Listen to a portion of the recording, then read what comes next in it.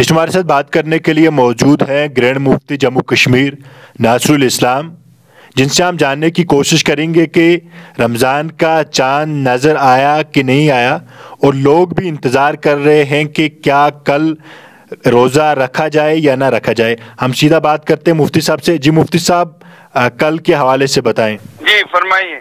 जी मुफ्ती साहब बहुत सारी मस्जिदों में अभी ऐलान हो रहा है कि कल रमज़ान का ये पहला लोग। मुंतशिर लोगों को लोगों को लोगों में इंतज़ार फैला रहे हैं जी। ये शरपसंद लोग हैं और इसकी कोई हकीकत नहीं है कोई चाँद यहाँ नहीं देखा गया जी मुफ्ती साहब पूरे जी पूरे कश्मीर की जम्मू कश्मीर की और खासकर कश्मीर के लोगों की इस नज़र है कि जम्मू कश्मीर की बात कर रहा हूँ कहीं। पे भी यहाँ चाँद की रुएत नहीं हुई है चार सौ लोग मेरे साथ अ, जुड़े थे और जी।